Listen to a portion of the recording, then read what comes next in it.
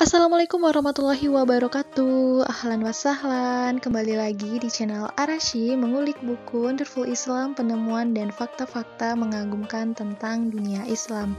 Alhamdulillah kita masih diberikan kesempatan Kenikmatan dan tentunya juga kesehatan Yang pada kali ini kita uh, masih membahas tentang Empat kuliner warisan peradaban Islam yang mendunia. Wah Masya Allah ya Kemarin kita habis uh, berbincang-bincang tentang makanan yang bernama pasta Dan Kali ini kita berada di topik kedua di mana pembahasan kita yaitu tentang es krim.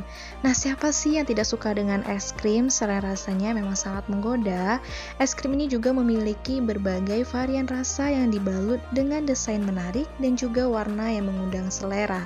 Nah, tahu nggak sih kalau jika kuliner ini memang sangat populer di seluruh dunia dan ini adalah salah satu kuliner warisan peradaban muslim di era kejayaan Islam. Nah, dalam bahasa Italia, es krim ini disebut cassata, sedangkan dalam bahasa Arab casada atau krim. Nah, es krim ini diketahui pertama kali diproduksi di Syam, e, kalau saat ini di Suriah ya, yang kemudian dibawa bangsa Mesir ke negaranya. Nah, kalau berdasarkan buku Wonderful Islam, ini berdasarkan penelitian, ternyata di balik rasanya yang enak dan juga lezat, es krim ini memiliki efek negatif bagi kesehatan. Nah, es krim ini diklaim dapat menyebabkan obesitas serta menurunkan kesuburan bagi wanita. Bener nggak sih kira-kira?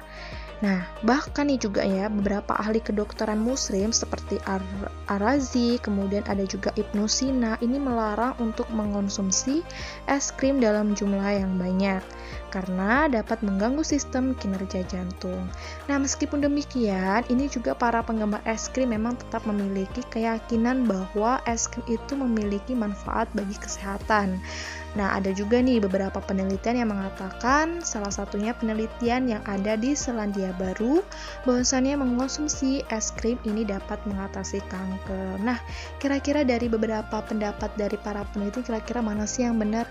Walau alam ya. Jadi yang penting nama juga sesuatu itu kita memang nggak boleh berlebihan. Jadi kita mengonsumsi itu harus ya sewajarnya aja lah, nggak boleh banyak-banyak gitu kan. Kalau misalkan kita lagi pengen ya mungkin kita bisa sesekali untuk mengkonsumsi es krim.